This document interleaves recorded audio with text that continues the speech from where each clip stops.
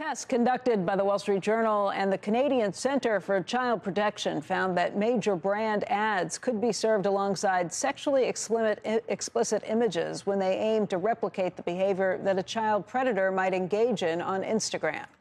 Namely, searching for images of child gymnasts, cheerleaders, and similar content, while also seeking out adult sexual content. In a response, Meta says that the prevalence of inappropriate content on Instagram is low and that they're invested in continuing to reduce it. A statement to the Journal saying these results are based on a manufactured experience that does not represent what billions of people around the world see every single day when they use our products and services. We tested Reels for nearly a year before releasing it widely with a robust set of safety controls and measures. In 2023, we actioned over 4 million Reels per month across Facebook and Instagram globally for violating our policies. Joining us right now is Jeff Horwitz, who is Wall Street Journal technology reporter and the author of Broken Code Inside Facebook and the Fight to Expose Its Harmful Secrets. Jeff, I want to thank you for being here. Certainly. All right, uh, clear up some of the confusion that I have on this, at least. I mean, I look at this and it sounds like there are multiple layers of potentially bad things happening here. The first would be is there child pornography or child pornographic content on Instagram? So I think the right way to think about Instagram's role in that really unfortunate ecosystem is kind of the top of the sales funnel in the sense that, uh, you know, what we were running into wasn't people actually posting child sexual exploitation content directly on the platform uh, it was um, people advertising that stuff and basically recruiting for it. Uh, because I think the thing that that our tests come down to, and that nothing that Meta's comments there uh, really sort of address, is the tendency of the platform to serve users who are interested in that content as much of it as it can find from any source whatsoever. So this isn't just, you know, our test accounts followed some bad people and saw some bad things as a result. This is that literally just following uh, young gymnasts and uh, uh, cheerleaders on Instagram, like we're talking, you know, 12 to 14 year olds here, uh, is enough for the platform to start trying to see if the user wants to start looking at uh, adult porn. Um, and uh, that's because they know that the that a large portion of the followers of these kids uh, are adult men who are interested in kids and sex and possibly the combination of the two. And Wait so the algorithm back, back this up. I mean, that's a problem. If the algorithm is looking at me that I am interested in watching 12-year-old to 14-year-old cheerleaders and gymnasts, they're going to start pitching me adult porn sites, that, ads. That, what, yes, what are they pitching me?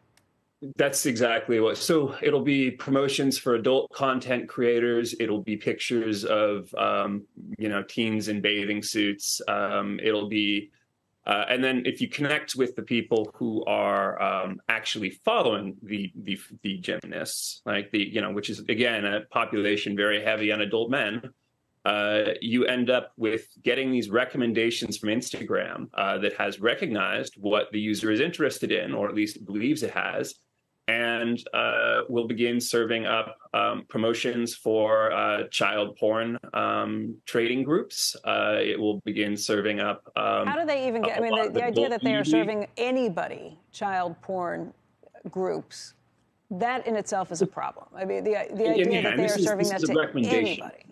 This is a recommendation system, right? So I think okay. something that we haven't really gotten into in the social media world as much as uh, would be good is just the distinction between what you host on your platform and what you recommend on your platform, right? And this is a recommendation problem. They are um, literally scouring billions of posts on the platform for pictures of kids in their underwear for the demographic that wants to see that. And that's um, obviously. Uh, the idea that they're serving this up is insane. The idea that they even allow it on the site is a problem as far as I'm concerned. It, it's not, you know, they're, they're saying that it's not a large portion, it's a very small portion of what's out there. But if you had, let's say, three child, uh, three pedophiles hanging out at Chuck E. Cheese, that would be three too many. There'd be a zero oh, tolerance. yeah, this isn't this isn't a small portion for them. Of course, keep in mind is hundreds of thousands, if not millions, of accounts. And I think the thing that that our test demonstrated is that this isn't something slipping through. This is what the algorithm is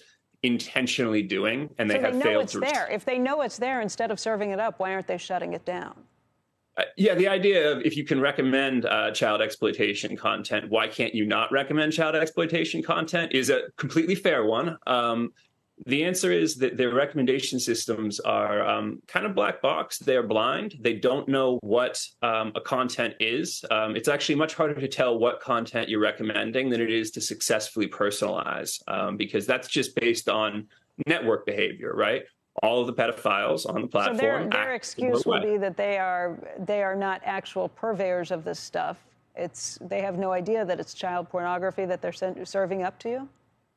Um, they uh, yeah I, I, shouldn't i shouldn't speak for them they you know you've read you sort of stated their statement at the beginning in terms of this but they are um, i mean they, they, they have a system that is functionally recommending this stuff um, and it's recommending it from users that you don't follow right i think that's a very key distinction is that this is literally just scouring for content on the platform that might be of interest and it, it leads to some pretty uh, jarring and unfortunate things, and also directly next to major brand ads. I think that's one thing we haven't talked about. Is just that uh, this stuff is being subsidized by um, ads for Apple, Which Walmart.